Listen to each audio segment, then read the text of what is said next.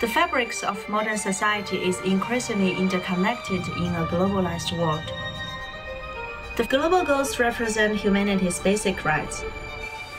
We can no longer ignore our actions as they impact the livelihoods of everyone in this global village. We need a collective stewardship of the entire planet if we're going to succeed with the world economy in the future.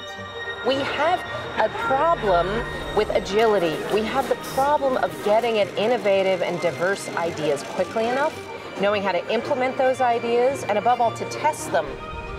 With technology and smart partnerships, we can create innovative solutions to tackle the world's interconnected problems.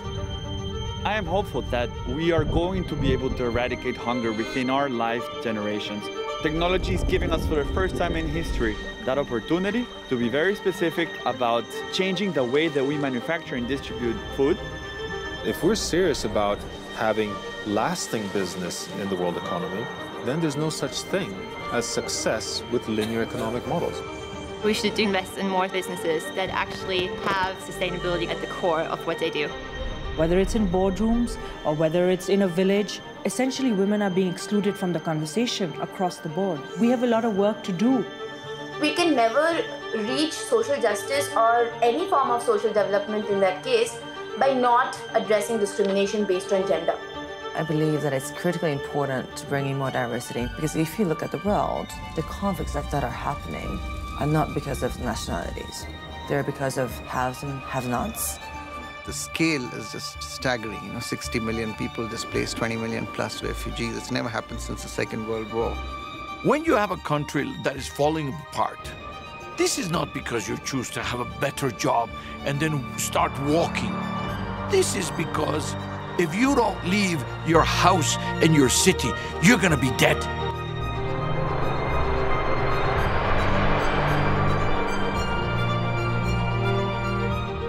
Coming from an island and seeing the recent effects of Hurricane Irma, infrastructural damage is so bad. And where you hear like an island of Barbuda where 90% of the population is now homeless, you have climate refugees. And I think these are very important aspects that need to be taken into global dialogue.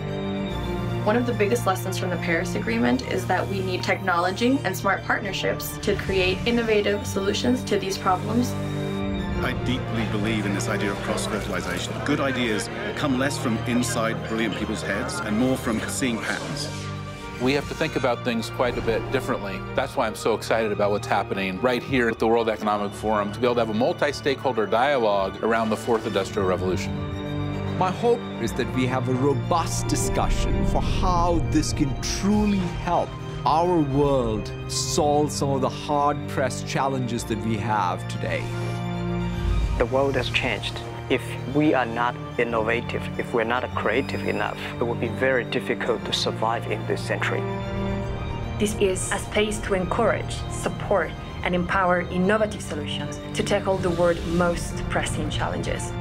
This is your platform for action.